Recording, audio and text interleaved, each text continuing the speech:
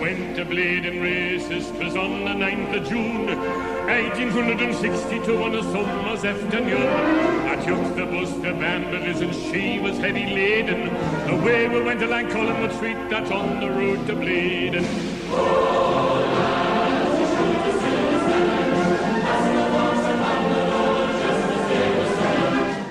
What's going on? Welcome back to the channel. You're watching Toon Army TV. This is the FA Cup third round match preview between Arsenal and Newcastle United. It's down at the Emirates Stadium, a half five kickoff live on BBC One. If I could be kind enough to ask you to please subscribe to the channel if you're a first time viewer. I'm trying to get to 3,500 subscribers. I'm trying to push the channel as much as possible in 2021. Your support recently has been absolutely fantastic. I think we've gained something like 20 subscribers in the past week, uh, the most that the channel has ever gained in such a long time, and that's understandable with what's going on and not being able to do uh, the content that I enjoy, like going to the games and vlogging and being amongst the fan base. But things will get better. Uh, light will be at the end of the tunnel, and of course, if you're struggling with lockdown, make sure that you're doing uh, all of the right things by talking, maybe going out for uh, some sort of exercise. I want to try and uh, get the channel to where it should be, and without your support, uh, that's not possible. So hit that subscribe button, turn on the notification bell so you never miss a video from myself, and also hit that thumbs up on the video so uh, more people find out about this channel and all of the videos that I do release and get interactive down below in the comment section as well. That's vitally important for your opinion and I will reply to all of your responses. So going into this FA Cup third round tie on Saturday evening from a Newcastle fan's point of view, safe to say I couldn't be any more less interested for this game. Normally I'm quite upbeat for FA Cup games, but there's just no motivation when you've got Steve Bruce as your manager. And if you look at the current form, it's just getting worse and worse by the week. We've got injuries, we've got players suffering with COVID, Steve Bruce coming out with his excuses, the remit of just staying in the Premier League. Fans are against him, rightly so, because he's one of the worst managers that I've seen at Newcastle. You could put him up there along the likes of Joe Kinnear and Steve McClaren, just to name a few. I just can't wait for the season to end, if I'm being brutally honest.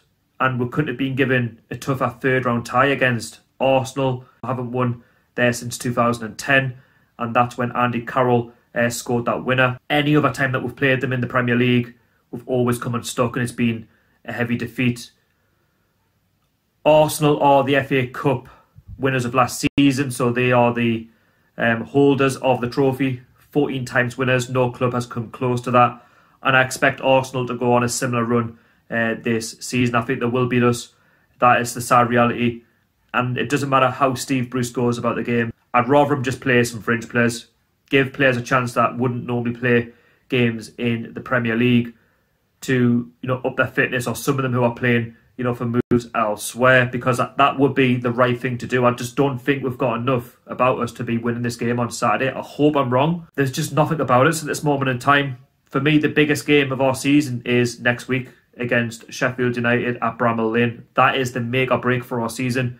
And that for me, if we don't beat Sheffield United in a week's time, I just don't know how Steve Bruce keeps his job. I don't think he'll get judged on the FA Cup game this weekend because, listen, it's Arsenal and it's not going to be easy because we know how to play. Arsenal have you know turned a corner in recent weeks. Uh, the last result was a 4 0 win against West Bromwich Albion. They could have won by more, but previously they've just been pulling out results out the bag. And yes, they haven't pulled up any trees this season.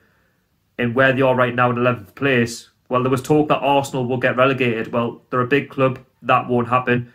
You'll be saying in the comment section, well, Sharkey, they are a big club, but big clubs can't be relegated. Just look at Newcastle, look at Forest, look at Sheffield Wednesday. Granted, you do have a point. However, it's Arsenal. They are decent. Uh, at the best of times, they can pick up some good results like they have done, and they will find a way out of it.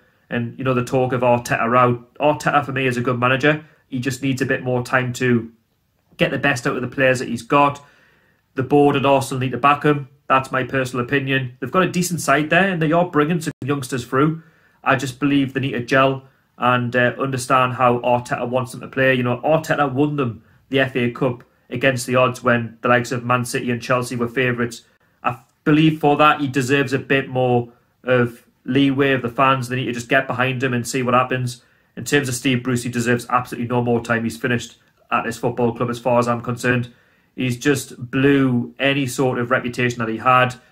The fans are well and truly just can't be asked with him anymore. The, you know, with the whole excuses of this, that, and the other, the remit. We can't compete against Brentford in you know the quarterfinals of the League Cup. What makes you think we're going to compete with Arsenal, who are ten times better than Brentford, in my personal opinion? It tells you everything uh, that you need to know. In terms of uh, the game, as mentioned for Newcastle, I mentioned uh, fringe players. Now, I would play maybe a 4 4 2, or you could go for a 4 2 3 1. Steve Bruce should just experiment because when I say the game's a write off, it is a write off. We are not favourites. When I look at how good Arsenal are and I look at how poorly average Newcastle are, you just know that there's going to be one winner. And just give the young lads a chance that don't really get that, that chance, maybe, you know, in uh, the top flight games. And I'm talking, for example, Rodrigo Vilca, who was signed in the summer, but he was more for the under 23s. But when you've watched him in terms of under 23 level, he scored a very good goal in training at St James's Park, something out of this world. He scored a very good goal in the under 23s, so he knows where the back of the net is. He has been linked uh, with a move to Carlisle United on loan. Now, that would be good for him in terms of his experience of learning the English game. It could be, you know, the perfect uh, destination for him, but for now, give him a run out in the first team. He can't be any worse than the midfield that we have currently at this moment in time. You know, with the likes of Sean Longstaff and Jeff Hendrick not really, you know, pulling up any trees and doing much uh, for, you know, our midfield. And he could actually link up quite well with Matty Longstaff, who's got a lot of energy. It's just an option uh, for Saturday. In terms of up front, say what you like about this one, but I wouldn't even start Callum Wilson or Joelinton for this game. I'd maybe bring them off the bench and then see what happens in the game. I would actually start Andy Carroll and Dwight Gayle in a 4 4 2. Personally, I think they both need game time. Both of them look like they're out the door uh, in this window, if not at the end of the season. Andy Carroll looks like he's going to West Brom. Dwight Gayle, I don't think he'll get a new contract, but that's not to say that Dwight Gayle isn't a bad player. I just don't think he's a Premier League player. He's got a lot of um, you know pace. He's got a lot of you know attributes that he brings to the side that maybe Joelinton doesn't. I think Callum Wilson needs that break. Joelinton just doesn't offer too much to the side in terms of uh, his ability to get around the pitch. Uh, he's just Joelinton's that player who will score one goal every maybe ten or fifteen games. Dwight Gayle might just pop up with one like he did against West Brom, and with that pace, we're going to need it against Arsenal, who. Yes, okay, they've turned a corner, but they do uh, leak in goals, so it, it might work in our favour. And then maybe change it around in the second half, see where the game is at, as mentioned. So you could look at the defence. What more could you change? Or with the injuries, I, I think it's difficult. Really, could maybe say Manquillo if he's around. Emil Krafth, Paul Dummett could get a, a rest start as well. You know, after recovering from injury, he did play recently, but uh, has been out for a couple of games, maybe just down to squad rotation. Now in net could be interesting. I personally would start Dubravka. I think he needs that game time. He's fully fit now. He's normally our number one keeper, but hasn't really deserved to be back into the side yet over Darlow, who's been absolutely fantastic. Uh, can't lose his number one spot, but I would give him a rest against Arsenal, and I would uh, actually say play Dubravka to you know give him uh, that much needed uh, minutes you know under his belt.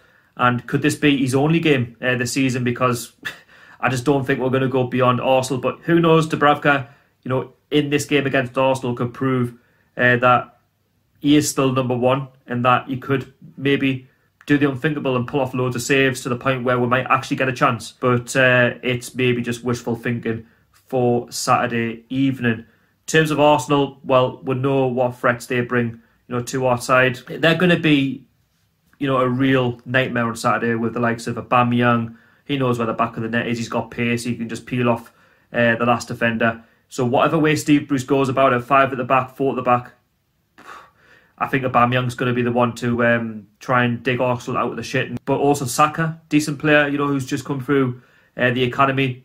He's got a bright future, that lad. He's very positive on and off the ball. Lacazette as well, not the player that they once signed, but still a real threat for Arsenal. He's strong on the ball. He can not only just you know make things happen, but he can um, score goals as well. So it's going to be you know a difficult evening, whatever happens. But in terms of a score prediction, I'm going to say 3 1 to Arsenal. Sorry if that's come across as negative, but I'm not expecting too much from the match. I think it'll be a case of we're set up to defend and Arsenal will just pick us off. And it's going to be a case of how do we contain Arsenal? Well, when you've got Steve Bruce as your manager, there is no plan A, B, C, D, E, F, G. So, yeah, I'm hoping to be positive for the review on Saturday evening, but I guess it will be the polar opposite, and it'll just be a case of, oh, well, we're out the FA Cup for another season, and a case of it'll be Steve Bruce saying along the lines of, oh, well, we tried, we rolled our sleeves up, we gave it a go. Deary me, honestly, the quicker this fool gets out of the football club, the better. But, uh, yeah, nothing's going to change my mind on the score prediction. I think we could nick one, but that's maybe putting it kindly. But I do believe Arsenal will have too much for us on the night. So uh, that's my uh, match preview. See what happens.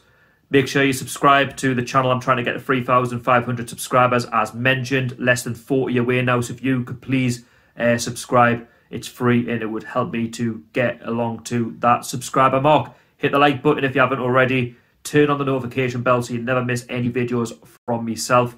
And uh, make sure you put your comments down below for your score predictions on the FA Cup. Will Newcastle United get through? Yes or no? Do let me know. Anyway, follow me on social media, Toon Army TV, Instagram, and Twitter. Follow me and I'll follow you back. And make sure you're keeping yourselves safe out there. So until the next video, I'll see you all later. How are the lads?